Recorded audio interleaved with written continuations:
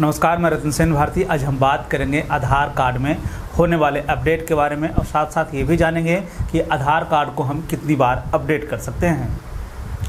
आधार card को जारी करने वाली संस्था Unique Identification Authority of India, यानी कि यू अब आधार कार्ड को होम सर्विस देने की पूरी तरह से तैयारी कर ली है। आधार कार्ड से जुड़ी हुई तमाम तरह की समस्याओं को आप अपने घर पर आसानी से उसे हैंडल कर सकते हैं। जैसे कि आप आधार कार्ड में फ़ोन नंबर, पता, नाम, बायोमेट्रिक और अन्य डिटेल बदलवा सकते हैं। कहा जा रहा है कि डोर स्टेप सुविधा शुरू हो जाने के बाद से अब किसी भी व्यक्ति को आधार सेवा केंद्र पर जाने की ज़रूरत नहीं होगी। वर्तमान में यू आई कार्ड धारकों को अपने पते जैसे कि विवरण और ऑनलाइन बदलने का विकल्प देता है।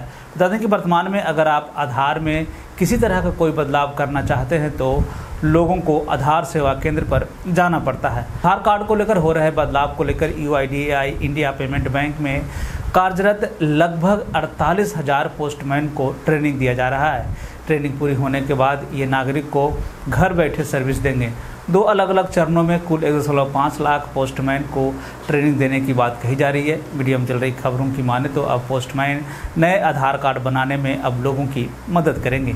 इन पोस्टमैन को डिजिटल गैजेट दिया जाएगा, जिससे कि वे आम लोगों की मदद कर सकेंगे। साथ ही साथ यह भी कहा जा रहा है कि यू देश के सात सौ पचपन जिलों में से प्रत्येक में आधार सेवा केंद्र खोलने का लक्ष्य लेकर चल रहा है।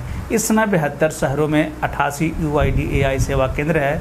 आधार कार्ड में अपडेट करने को लेकर यू ने बताया कि आप कितनी बार इसमें अपडेट कर सकते हैं। इसका मतलब है कि किसी भी होल्डर के आधार कार्ड में नाम, पता और मोबाइल नंबर को अपडेट करने की सीमा तय की गई है। हालाँकि आधार कार्ड कई बदलाव ऑनलाइन भी कर सकते हैं, लेकिन कुछ अपडेट के लिए उन्हें आधार कार्ड सेंटर पे जाना पड़ता है। वहीं यू आधार कार्ड से दस्तावेज़ में बदलाव करने के लिए कुछ शुल्क भी लेता है।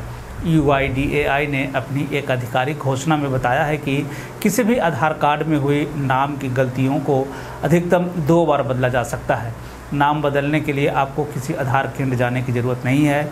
यह घर बैठे ऑनलाइन भी बदला जा सकता है। अगर कोई भी आधार कार्ड होल्डर की जन्मतिथि में कोई गलती है तो तीन साल के अंतराल में उसको जो है बदला जा सकता है। इसका मतलब है कि अगर आधार कार्ड में जन्मतिथि तीन साल आगे या फिर तीन साल पीछे से ज़्यादा हो तो आप इसमें बदलाव नहीं कर सकते हैं। वहीं पते की गलती होने पर आप एक बार उसमें अपडेट कर सकते हैं। साथ ही साथ यह भी कहा गया है कि अगर आपके कार्ड पर दर्ज लिंग में कोई गड़बड़ी है तो आप उसे एक बार ही बदल सकते हैं।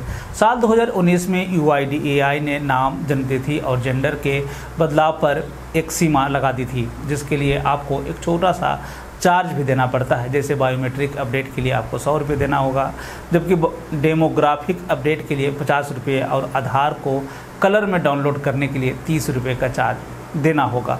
तो एक तरह से कि आधार कार्ड में कई तरह की गलतियाँ हैं, फ़ोटो को लेकर गलतियाँ होती है, नाम, पता लिंक इन सब में गलतियाँ कभी ना कभी प्रिंटिंग के चक्कर में हो जाती है, अपडेट करने के दौरान हो जाता है। तो ऐसे में आधार कार्ड में सुधार को लेकर जो है गुंजाइश जारी की गई है, जिसमें कहा गया है कि अब आप घर बैठे भी अपने आधार कार्ड को सही कर सकते हैं। बिहार और बिहार से जुड़ी हुई और भी ऐसी खबरों के लिए बने रहें बिहारी न्यूज़ के साथ। मुझे दीजिए इजाज़त। धन्यवाद।